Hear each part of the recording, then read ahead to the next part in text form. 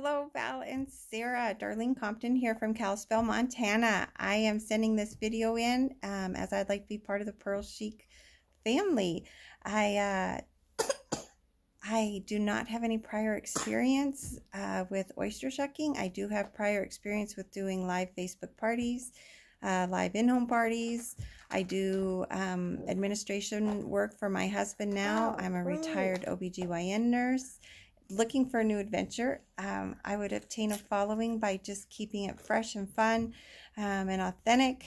And uh, just, I, I think I could add some some flair to your to your corporation. So I really hope to hear from you girls soon. Um, I'm super excited about this and uh, looking forward to it. Thanks, girls. Bye.